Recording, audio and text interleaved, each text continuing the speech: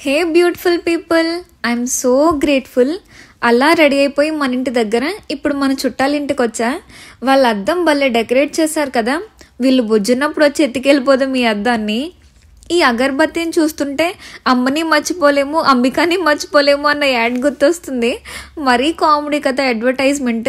పరిగెట్టుకుని లోపలికి వెళ్ళి అగరబత్తి తెస్తుంది. పోనీ దారిలో కొనుక్కోవచ్చు కదా. కొన్ని యాడ్స్ అస్సలు సంబంధం ఉండవు. కానీ అవే మనకి బాగా గుర్తుంటాయి. ఈ ఇల్లు అమ్మేస్తున్నారట బోర్డు పెట్టారు. ఏడు కోట్ల ఇరవై లక్షలట. ఫోన్ నంబర్కి రెండు అంకెలు తక్కువ అంతే. మీకు ఎవరికైనా కావాలా? నెల నుంచి సేల్లోనే ఉంది. ఎవరు ధైర్యం చేయలేదు పాపం. మా వాళ్ళని నార్మల్గా ఇల్లు ప్రైస్ అంతే అని అడిగితే ఏ కొనేస్తున్నావు అయితే గృహప్రవేశానికి పిలు మర్చిపోకు అన్నారు. మామూలు ఎటకారం కాదు మనోళ్ళది. డ్రాయింగ్ కాంపిటీషన్లో గెలిచిన వాళ్ళవి ఇలా ప్రతి స్టేషన్లో పెట్టారు. ఈ చిన్నోడు ఎయిత్ క్లాస్ అట హ్యాపీ హాలిడేస్ ఫ్రమ్ పాత్ అని న్యూయార్క్ అంతా ఇరికించేశాడు డ్రాయింగ్లో. వాళ్ళ పేరెంట్స్ చూస్తే ఎంత మురిసిపోతారో కదా. మనోళ్ళు ఇప్పుడు ఆ డ్రాయింగ్కి మార్కులు వేస్తున్నారనమాట పిలిచి ప్రైజులు ఇస్తారేమో. ట్రైన్ వచ్చింది లోపల హీటర్స్ ఉంటాయి. ఒక భోగి అంతా మాకే సరిపోయేట్టుంది. టైం ఈవినింగ్ ఫోర్ అయింది. మన ట్రైన్స్లో పాప్కార్న్స్ డ్రింక్స్ అవన్నీ చూస్తాం కదా. ఇక్కడ ట్రైన్స్లో ఫస్ట్ టైం అలా చాక్లెట్స్ వచ్చాయి. మా వాళ్ళందరూ షాక్ ఇంకా. కొత్త స్టార్టప్ అనమాట దీన్ని బట్టి అమెరికాలో అందరూ ఉన్న వాళ్ళే ఉండరు అని అర్థమవుతుంది. ఇండియా వెళ్తుందేమో ఫ్లైట్ నన్ను కూడా తీసుకెళ్ళిపోతే బాగుండు కానీ కుదరదులే. ఒప్పుకున్న పెళ్ళికి బాజలు వాయించడం తప్పుతుందా? అందుకే పెద్దవాళ్ళు చెప్పిన మాట వినాలి అంటారు. వెళ్ళొద్దమ్మా మంచికి చెడుకి అంత దూరం నుంచి రావడానికి ఉండదు అని చెప్పారు. నేనేదో అన్నీ తెలిసినట్టు. మళ్ళీ అమెరికా వెళ్ళే అవకాశం రాదు అని చెప్పొచ్చా. తీరా ఇక్కడికి వచ్చాక ఇండియా వెళ్ళే అవకాశం రావట్లేదు. అలా అయిపోయింది పరిస్థితి. మీకు గుర్తుందా ఈ ప్లేస్? ఇదే ప్రపంచంలో ఖరీదైన రైల్వే స్టేషన్. ఎక్కడ చూసిన అడ్వర్టైజ్మెంట్స్? అసలు ఆంధ్రాలో ఆంధ్ర బ్యాంక్ తెలియని వాళ్ళు ఉంటారా? అలా అమెరికాలో చేజ్ బ్యాంక్ అంటే తెలియని వాళ్ళు కూడా ఉండరనమాట అయినా అడ్వర్టైజ్మెంట్స్ ఇస్తారు. వాళ్ళు ఒక రోజు అడ్వర్టైజ్మెంట్ ఇచ్చే డబ్బులతో మనం ఇందాక చూసిన ఇల్లు లాంటివి రెండు కొనేయచ్చు. చూసారా మన వాళ్ళ ఫోటోషూట్లు అంటే ఇండియా నుంచి కొత్తగా వచ్చారు వీళ్ళు. అందుకే బిల్డింగ్స్ని పట్టుకుని వదలట్లేదు. తక్కువలో తక్కువ రెండు వందల ఫోటోలన్నా దిగుంటారు. ఇన్స్టాగ్రామ్ సర్వర్ పేలిపోద్ది రోజు. మరి అందరం చివరిలో ఇక్కడ కలుసుకుందాం. మనం అమెరికాలో ఉన్న ఇండియాలో ఉన్న నాలుగు కోట్లున్నా వంద కోట్లున్నా మన ఫైనల్ స్టాప్ ఇదే అనమాట ఎంత డబ్బు ఇచ్చినా ఇంక ముందు స్టాప్స్ రిజర్వేషన్లో ఏసీ బోగీలు ఏమి ఉండవు అందుకే పెద్దలు చెప్తారు. నేను మళ్ళీ చెప్తున్నా.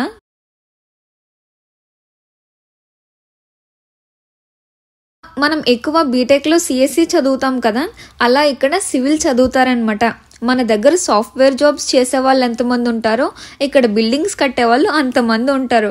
అంటే ఇదంతా ఈ బిల్డింగ్స్ చూస్తుంటే గుర్తొచ్చింది. ఎవరు చూసినా సివిల్ సివిల్ అంటూనే ఉంటారనమాట ఇదే పేస్ యూనివర్సిటీ డబ్బులు మా కాలేజ్కి కట్టినట్టు దీనికి కూడా గౌన్ సంచులతో పట్టుకెళ్ళి కట్టాలి. ఫీజు చాలా ఎక్కువ. నలభై నుంచి యాభై లక్షలు ఉంటుంది చూసారా? బ్రూక్లిన్ బ్రిడ్జ్ పక్కనే మంచి ప్లేస్లో ఇరికించేశారు కాలేజ్ బిల్డింగ్. ఇదే బ్రూక్లిన్ బ్రిడ్జ్కి దారి పైకి వెళ్తే వచ్చేస్తుంది. న్యూయార్క్ వచ్చిన వాళ్ళు బ్రూక్లిన్ బ్రిడ్జ్ చూడకుండా వెళ్ళరనమాట ఇది చాలా చాలా చాలా ఫేమస్ ప్లేస్. సింపుల్గా చెప్పాలంటే రాజమండ్రికి గోదావరి బ్రిడ్జ్ ఎలానో న్యూయార్క్కి ఈ బ్రిడ్జ్ ఎలా అనమాట ఇది కట్టడానికి పద్నాలుగేళ్ళు పట్టిందట. ఇది కడుతున్నప్పుడు అయితే ఇదే ప్రపంచంలో పెద్ద బ్రిడ్జ్. ఎందుకో మరి ఆ హెలికాప్టర్ అలా తిరుగుతూనే ఉంది. బ్రిడ్జ్ని పైనుంచి చూస్తున్నారా అనిపించింది. మీకు తెలుసా? ఈ సిటీలో ఫస్ట్ ఏరోప్లాన్ ఇక్కడే తిరిగిందట. పంతొమ్మిది వందల పదిలో అంటే వంద సంవత్సరాల క్రితం. వంద సంవత్సరాల్లో ఎంత మారిపోయిందో కదా? ఇప్పుడైతే రోజుకి వంద కనిపిస్తాయి. మనకి కనిపించేవే వంద అయితే ఇంకెన్ని వేల ఫ్లైట్స్ టేక్ ఆఫ్ అవుతున్నాయో రోజు. ఇది థర్డ్ టైం తెలుసా రావడం బ్రూక్లిన్ బ్రిడ్జ్కి? ఫస్ట్ టైం వచ్చినప్పుడు రియల్మీ ఫోన్లో మొత్తం వీడియోస్ తీసాం. అంటే ఆ రోజు పరిగెడుతూ పరిగెడుతూ తీసా. ఇంకా వీడియోస్ అన్నీ నేను ఉనికిపోతూ పరిగెడుతూ తీయడం వల్ల డ్యాన్స్ చేసేస్తున్నాయి. కదిలిపోతూ కదిలిపోతూ ఉన్నాయి. ఇంకా నాకు ఎందుకో నచ్చలేదు అవి. అందుకే మొన్న ఇస్కాన్కి వెళ్ళినప్పుడు మళ్ళీ ఈ బ్రిడ్జ్కి వెళ్దామని లాక్కుని వచ్చాం మా ఫ్రెండ్స్ని. అప్పుడు నైట్ అయిపోయింది ఇంకా. ఇంకా నైట్ వ్యూ తీసాం. మళ్ళీ మార్నింగ్ వ్యూ కూడా ఉంటే బాగుంటుంది వీడియోలో అనిపించింది. అందుకే మళ్ళీ ఈ బూచోలతో పనిగెట్టుకుని వచ్చాం. చివరికి బాగా వచ్చింది వీడియో నాకు నచ్చినట్టు morning view night view. Video నాకు నచ్చడానికి చాలా టైం పట్టింది. అందుకే పోస్ట్ చేయడం లేట్ అయిపోయింది. మళ్ళీ ఏమో ఈ మధ్య జ్వరం వచ్చింది. జ్వరం వస్తే ఎవరికైనా అమ్మ గుర్తొస్తుంది. కానీ నాకు మా తాతగారు గుర్తొచ్చారనమాట ఏమైందంటే వన్ వీక్ బ్యాక్ సోఫా మీద కూర్చుని అలాగా తాతగారు తాతగారు అని తలుచుకున్నాను అనమాట నేనేదో చెప్తున్నా అనుకుని మా వాళ్ళందరి ఎక్స్ప్రెషన్ ఎమోషనల్గా మారిపోయింది. అప్పుడు వెంటనే ఎందుకు తాతగారు కనీసం నాలుగెకరాలన్నా ఇవ్వకుండా వెళ్ళిపోయారు అన్నాను. మా వాళ్ళందరూ ఇంకా ఒసే నువ్వేదో బాధపడుతూ ఏదో చెప్తున్నావు అనుకున్నాం కదే అని నవ్వు నవ్వు. అంటే జ్వరం వచ్చినప్పుడు పక్కన అమ్మ ఉంటే బాగుంటుంది అనిపిస్తుంది. కానీ పక్కన అమ్మ ఉండాలంటే మనం మన ఇంట్లో ఉండాలి. మనం కొంచెం వయసు వచ్చాక ఇంట్లో ఉండాలంటే వెనక ఆస్తి బాగా ఉండాలి. వెనక ఆస్తి ఉండాలంటే తాతగారు సంపాదించి ఉండాలి కదా. అందుకే తాతగారు గుర్తొచ్చారనమాట మళ్ళీ ఈ జ్వరంలోనే పరీక్షలు వచ్చాయి పరీక్షలు అంటే అదో మాదిరి భయం అనమాట మనకి. వణుకొచ్చేస్తుంది. ఇంకా వీడియోస్ జోలికి రాలేదు కొన్ని రోజులు. సో పరీక్షల వల్ల ఈ వీడియో లేటుగా వచ్చిందనమాట ఏదో మిగిలిన వీడియోలన్నీ త్వర త్వరగా పోస్ట్ చేస్తున్నట్టు చెప్తున్నాను అనుకుంటున్నారు కదా. నాకు తెలుసండి. రెండు సంవత్సరాల చదువు ఒక సంవత్సరంలోనే చక్కబెట్టేస్తున్నా కదా. ఇంక అందుకే అసలు ఫ్రీ టైం దొరకట్లేదు. అలా మూడు సార్లు వీడియోస్ తీసాక అవన్నీ కలిపి ఇదిగో ఈ వీడియోస్ చేసా. నేను దూరం నుంచి చూసి వీటిని తాళ్ళు అనుకున్నా కానీ పట్టుకుంటే తెలిసింది ఇనుప ఊసలు లాంటివి అని. ఎంత బాగా కట్టారో కదా. బీహార్లో రైలు పట్టాలు ఎత్తుకెళ్ళినట్టు ఈ ఇనుప ఊసల్ని ఎవరైనా ఎత్తుకెళ్తే ఒక్కొక్కరు కిందకెళ్ళి ఒక్కొక్క కారులో పడతాం అనమాట మనకున్న అదృష్టానికి నేనైతే వెళ్ళి కింద నీళ్ళల్లోనే పడతా. నీళ్ళల్లో పడ్డం అంటే గుర్తొచ్చింది. చిన్నప్పుడు సినిమాలు చూస్తున్నప్పుడు ఎవరైనా వాటర్లో దూకి చనిపోయినా లేకపోతే ఎత్తు నుంచి దూకి చనిపోయినా నేను అనుకునేదాన్ని వాళ్ళందరూ వాళ్ళకి డబ్బులు లేకపోవడం వల్ల సినిమాల్లోకి వచ్చి చచ్చిపోతారు. తర్వాత సినిమా వాళ్ళు వాళ్ళు సినిమాలో చనిపోయినందుకు డబ్బులు వాళ్ళ ఇంటికి పట్టుకెళ్ళిస్తారు అనుకునేదాన్ని. అంటే నటించే వాళ్ళందరూ నిజంగానే చనిపోతున్నారు అనుకునేదాన్ని అనమాట చిన్నప్పుడు టీవీ గురించి బోల్డని డౌట్స్ ఉండేవి. అంత పెద్ద మనిషి టీవీలో ఎలా పట్టారా అనేసి. సోషల్ మీడియా వచ్చాక హైట్స్ నుంచి దూకడం ఇవన్నీ ట్రెండ్ అయ్యాయి. కానీ సోషల్ మీడియా లేని రోజుల్లో కూడా ఫేమస్ అవ్వడానికి ఈ బ్రిడ్జ్ నుంచి దూకే వాళ్ళట. అంటే అప్పుడు పేపర్లో వేస్తారనేమో. ఎయిటీన్ ఎయిటీ ఫైవ్లో రాబర్ట్ అనేవారు దూకారట. అప్పట్లో ఇలాంటి స్టంట్స్ చేసే వాళ్ళకి చాలా క్రేజ్ ఉండేదన్నమాట. రెండు వందల అడుగుల ఎత్తు నుంచి గంటకి అరవై మైళ్ళ వేగంతో దూకాడంట. నలభై ఐదు నిమిషాలు బతికారు కానీ తర్వాత లోపల లోపల తగిలిన దెబ్బల వల్ల చనిపోయారు పాపం. తర్వాత ఇంకొకరు ట్రై చేసి బతికారు ఇంకొకరేమో చనిపోయారు.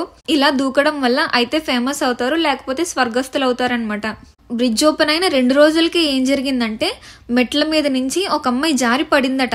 ఇంకొక అమ్మాయి గట్టిగా అరిచేసిందట. బ్రిడ్జ్ కూలిపోతుంది బ్రిడ్జ్ కూలిపోతుంది అని. అక్కడ అమ్మాయి మెట్ల మీద నుంచి పడితే ఈ అమ్మాయి ఏమో ఏకంగా బ్రిడ్జ్ కూలిపోతుందని అరిచేసింది అనమాట అక్కడ జరిగింది వేరు ఈ అమ్మాయి అరిచింది వేరు. ఇంకంతే అందరూ బ్రిడ్జ్ ఏదో అయిపోతుందని ఒకేసారి పరిగెట్టడం వల్ల పన్నెండు మంది చనిపోయి ముప్పై మందికి దెబ్బలు తగిలాయన్నమాట. అమ్మాయిల అరుపులు అలా ఉంటాయన్నమాట. ఇంతకీ పడిన దానికి ఏమవ్వలేదు ఈ అమ్మాయి మాత్రం ఒక కరుపుతో పన్నెండు మందిని స్వర్గానికి పంపేసింది. ముప్పై మంది ఏమో స్వర్గం వరకు వెళ్ళి డోర్స్ క్లోజ్ చేసి ఉన్నాయని వెనక్కి వచ్చారనమాట ఈవిడిలా అరిచాక ప్రాంక్ అని చెప్పాల్సింది. అందరూ అక్కడే పెట్టి ఉతికెద్దురు. ఆ తర్వాత రూమర్స్ చాలా వచ్చాయంట బ్రిడ్జ్ గురించి. మీరు ఈ సామెత విన్నారా? నిజం చీర కట్టుకునే లోపు అబద్ధం ఊరంతా తిరిగి వచ్చిందంట అని. అలా బ్రిడ్జ్ గురించి అందరికీ చెడ్డగా తెలిసిపోయిందంట. బ్రిడ్జ్ కూలిపోద్ది బ్రిడ్జ్ కూలిపోద్ది అని. అందుకు కోపం వచ్చి బ్రిడ్జ్ స్ట్రాంగ్ అని చెప్పడానికి ఇరవై ఒక్క ఏనుగుల్ని దాటించారంట బ్రిడ్జ్ మీద నుంచి. స్వెటర్ తీసి తీసుకుందాం అనుకున్న వీడియో కానీ చలి మామూలుగా లేదు. చేతులకి గ్లౌజెస్ వేసుకున్నా కానీ చలాగలేదు ఇంకా స్వెటర్ తీసే సాహసం చేయలేదు. ఈ అమెరికా వాళ్ళైతే ఇంతింత చలిలో కూడా పొట్టి పొట్టి బట్టలు వేసుకుని తిరిగేస్తారు. మేము ఇప్పుడు ఒకరి మొహాలు ఒకరు చూసుకుని నవ్వుకుంటాము. చెప్పాలంటే ఎక్కువ వేడి అయినా ఎక్కువ చలి అయినా ఒకేలా ఉంటుంది. నిప్పుల మీద నడిస్తే ఎలా ఉంటుందో అలా ఉంటుంది చలి. చలికి తోడు ఈ గాలి చంపేస్తుంది ఈరోజు.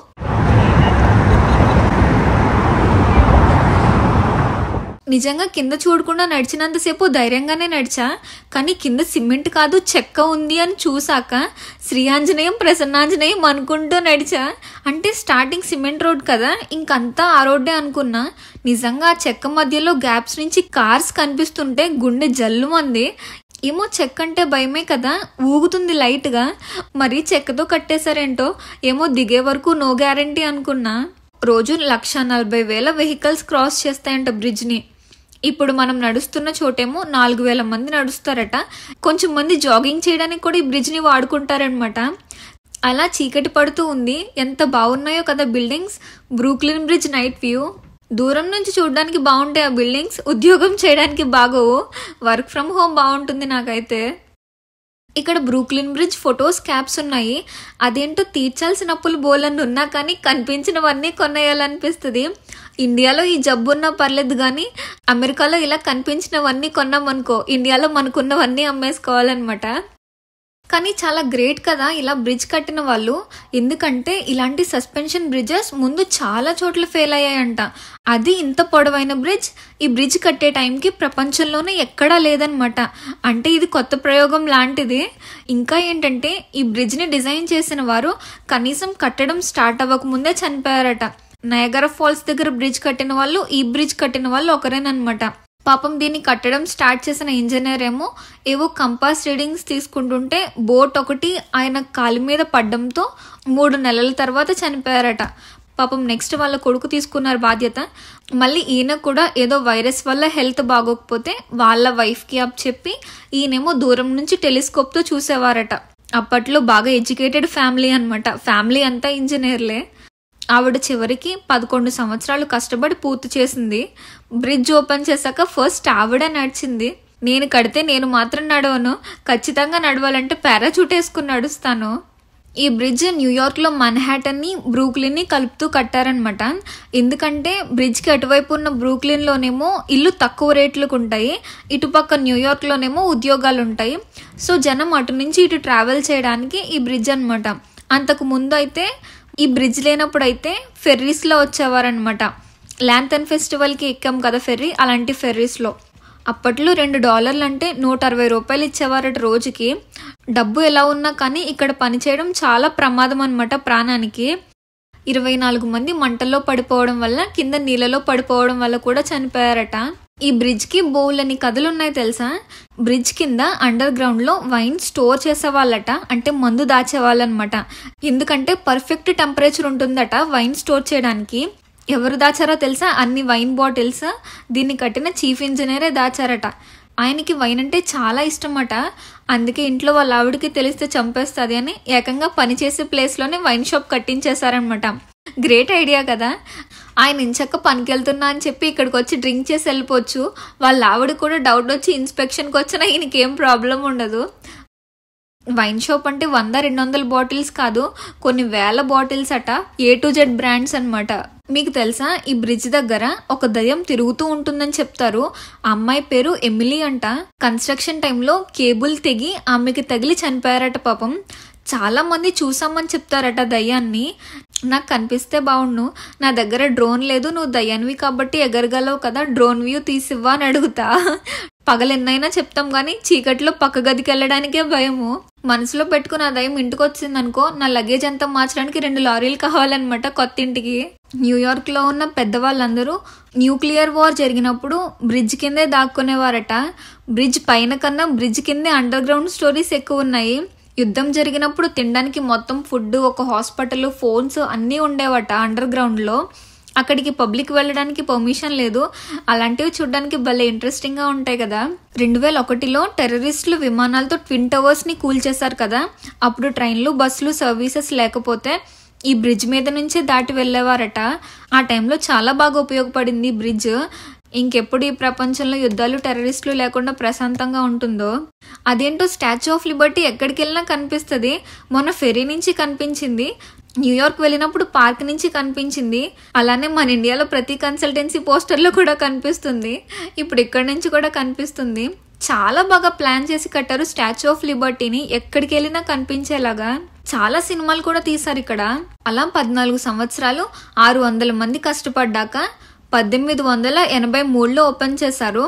అమ్మో చాలా సంవత్సరాలు అయింది కదా. నూట యాభై ఏళ్ళు అయిపోయింది మధ్య మధ్యలో రినోవేషన్స్ చేశారు. కానీ చాలా స్ట్రాంగ్గా బిల్డ్ చేశారు. మావయ్య కొడుకు కోడలు కలిపి. ఇక్కడ కప్పులు గ్లాసులు కొనే రేట్లకి ఇండియాలో వెండి గ్లాసులు వచ్చేస్తాయి. గుర్తుగా ఒకటి తీసుకుంటే బాగుంటుంది ఎక్కడికి వెళ్ళినా. ఈ బుడ్డి గ్లాస్ భలే ఉంది కదా. ఇలా ఫ్రిడ్జ్లకి పెట్టుకున్న మ్యాగ్నెట్స్ భలే ఉంటాయి. న్యూయార్క్ అంతా ఇక్కడే ఉంది. ఇక్కడ మ్యాగ్నెట్స్ ఫ్రేమ్స్లో ఉన్నవన్నీ ఫేమస్ ప్లేసెస్ కదా. ఇవన్నీ చూస్తుంటే ఇంకా మనం న్యూయార్క్లో చూడాల్సినవి చాలానే ఉన్నాయనిపిస్తుంది. నాకు ఇది భలే నచ్చింది. కానీ ఎక్కువ చెప్పారు. థ్యాంక్ యూ అని చెప్పి జాయిగా వచ్చాను. న్యూయార్క్ పక్కన ఉండడం చాలా బాగుంటుంది తెలుసా? బోల్ అని ఉంటే చూడ్డానికి ఒకసారి వెళ్ళిన చోటికి మళ్ళీ వెళ్ళక్కర్లేదు. బోల్ అన్ని చూడొచ్చు. షాపింగ్ మాల్స్ టైమ్ స్క్వేర్ దగ్గర ఫెస్టివల్ సెలబ్రేషన్స్ బోల్ అన్ని విజిటింగ్ ప్లేసెస్ ఇది చూసారా? ఫేమస్ ప్లేసెస్ అన్నీ ఉన్నాయి దీనిలో. స్టాచ్యూ ఆఫ్ లిబర్టీ డబ్ల్యూటీసీ అవి. ఈ బుల్ని ముట్టుకుంటే అదృష్టం వస్తుంది అంటారు కదా? అదేనండి ఛార్జింగ్ బుల్ న్యూయార్క్ వీడియోలో చూసాం కదా? ఇది మన ఇండియన్ కన్సల్టెన్సీస్కి ఇష్టమైన స్టాచ్యూ ఆఫ్ లిబర్టీ మనం ఇంకా వెళ్ళలేదు స్టాచ్యూ ఆఫ్ లిబర్టీ దగ్గరికి. న్యూయార్క్ నంతా గాజు బొమ్మల్లో బంధించేశారు. వింటర్ క్యాప్స్ మనం ఇంకొంచేపు ఈ టోపీలన్నీ చూస్తే కొనేయాలి అనిపిస్తుంది. అందుకే గబగబా పరిగెట్టేస్తున్నా. చాలా క్యూట్గా ఉన్నాయి. నేను అలా వెళ్ళిపోదామన్నా ఏదో ఒకటి నా కళ్ళ ముందుకు వచ్చి కనిపిస్తుంది కొనాలి అనిపిస్తుంది. ఇక్కడ ఉన్నవన్నీ కలిపితే ఐదు వేల కీ చైన్స్ అన్న ఉంటాయేమో. ఇన్ని ఆప్షన్స్ ఉంటే ఒక్కటి సెలెక్ట్ చేసుకోవడానికి నాకైతే గంట పడుతుంది. ఇవన్నీ స్టోర్స్ అనమాట బ్రిడ్జ్ స్టార్టింగ్లో ఉన్నవి. అమ్మయ్య అనుకున్నది సాధించేసా. అన్నీ చూసిన ఒక్కటి కూడా కొనలేదు. అన్నీ చూసిన ఒక్కటి కూడా కొనకుండా వచ్చా ఫస్ట్ టైము? ఏంటో రోజు రోజుకి బాధ్యత వచ్చేస్తుంది నాకు కూడా. ఎన్ని రోజులు ఉంటుందో డబ్బులు తగలేయకూడదు అన్న మోటివేషన్ ఇంకా వెళ్ళిపోతున్నాము. బ్రూక్లిన్ బ్రిడ్జ్కి షూట్ అయిపోయింది ఈ రోజుతో. త్రీ టూ వన్ ఇప్పుడు క్రాస్ చేయొచ్చు road. Pace University at night current bill బాగానే సేవ్ చేస్తున్నారు. అసలు చలి మామూలుగా లేదు. అసలు ఇంకొక ప్లేస్కి వెళ్దాం అన్నారు. ఇంకా చలికి ఇంటికి వెళ్ళిపోతే చాలరా బాబు అన్నారనమాట అందరూ. సౌండ్స్ వినండి.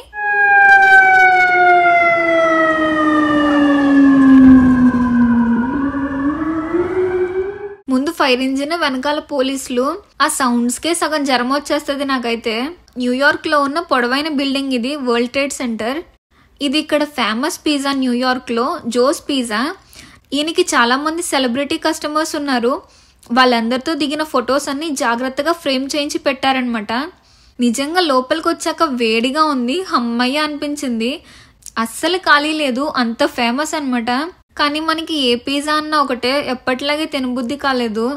ఫ్లైట్లో తిన్న ఫస్ట్ పిజ్జా ఒక్కటే బాగుంది అనిపించింది. నాకు ఇంక అలవాటు అవ్వదేమో పిజ్జా ఈ జీవితానికి. Um.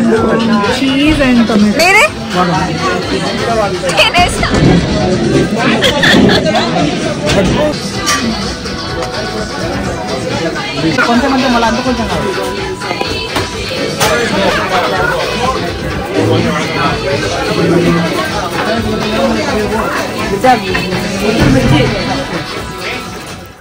పిజ్జా గార్లిక్ కట?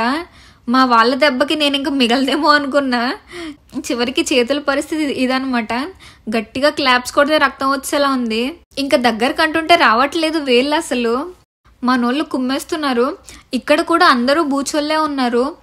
మా కాలేజ్లో స్టార్టింగ్లో ఒక్కసారి పిజ్జా తిన్నా. Mushroom pizza. ఇంకంతే అప్పటి నుంచి మళ్ళీ పిజ్జా ముట్టుకుంటే ఒట్టు. తక్కువ ప్లేస్లో అయినా చాలా బాగా డెకరేట్ చేశారు కదా ఈ పిజ్జా షాపు జోస్ పిజ్జా అట పంతొమ్మిది వందల డెబ్బై ఐదు నుంచి. అంటే దగ్గర దగ్గర యాభై సంవత్సరాల నుంచి ఉంది. మన వాళ్ళకి తెగ నచ్చింది అటు పిజ్జా. అందుకే ఇంటికి కూడా ఒక డబ్బా మోసుకెళ్తున్నాము. మళ్ళీ చలికి కాఫీ కోసం వెళ్ళాం. New York night view. New York night చాలా బాగుంటుంది. కానీ ఫొటోస్ కోసం కొంచెం వెలుగున్నప్పుడు వస్తాం అనమాట ఇది డబ్ల్యూటీసీ రైల్వే స్టేషన్. ఏదో పెద్ద షాపింగ్ మాల్లా ఉంది కదా. ఇక్కడ రైల్వే స్టేషన్ ఏదో షాపింగ్ మాల్ ఏదో తెలీదు. ఈ స్టేషన్లో అయితే షాపింగ్ చేసుకోవడానికి స్టోర్స్ బోల్ అని ఉంటాయి. డ్రెస్సులు బాగుంటాయి కానీ వాటి ట్యాగ్స్ మీద ఉన్న రేట్లు బాగోవు. ఎలా రాసి ఉంటాయంటే ట్యాగ్స్ మీద ఒక కిడ్నీ ఒక లివర్ ఒక నెల రెంట్ ఒక సెమిస్టర్ ఫీజు అలానే కనిపిస్తాయి చూస్తే. చూసి వచ్చి నవ్వుకోవడానికి బాగుంటాయి రేట్లు. ఈసారి డబ్ల్యూటీసీ భలే ఉంది మెరిసిపోతుంది. ఒక్కొక్కసారి ఒక్కొక్క కలర్లో ఉంటుంది. దీన్ని రైల్వే స్టేషన్లా కాకుండా ఒక విజిటింగ్ ప్లేస్లా చూస్తారు. క్రిస్మస్కి న్యూ ఇయర్కి అయితే ఇంకా చాలా బాగా డెకరేట్ చేస్తారు. ఎప్పుడైనా వరల్డ్ ట్రేడ్ సెంటర్ మాత్రం వీడియో తీయబుద్ది అవుద్ది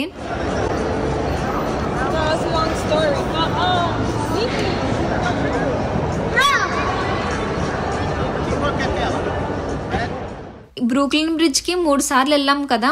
ఒకసారి వస్తున్నప్పుడు డబ్ల్యూటీసీ ఈ కలర్స్ కలర్స్తో ఉంది. తర్వాత ఇస్కాన్కి వెళ్ళొస్తున్నప్పుడేమో ఇలా వైట్ కలర్లో ఉంది. ఈ చలి ఎప్పుడైపోద్దో కానీ రక్తం తన్నుకున్న పైకొచ్చేలా ఉంది. నేనైతే సమ్మర్ కోసం వెయ్యి కళ్ళతో ఎదురు చూస్తున్నా. మా వాళ్ళు గ్లౌజ్ కూడా లేకుండా భలే నడిచేస్తారు. నేనైతే మాస్కులు క్యాపులు గ్లౌజ్లతో ఏదో బ్యాంక్ రాబరీకి వెళ్ళినట్టే రెడీ అవుతా. కిటకిటలాడిపోతుంది రైల్వే స్టేషన్ ఈ రోజు. అమావాస్యకి పౌర్ణానికి ఇంతమందిని చూసి అదృష్టం దొరుకుద్దనమాట ట్రైన్ వచ్చింది. నిజంగా ఈ మధ్య ఎక్కడికన్నా వెళ్తున్నామంటే కొంచెం హ్యాపీగా అనిపిస్తుంది కానీ ఈ చలికి బయటికి వెళ్ళి ఇంటికి వస్తున్నామంటే ఇంకా చాలా చాలా హ్యాపీగా అనిపిస్తుంది.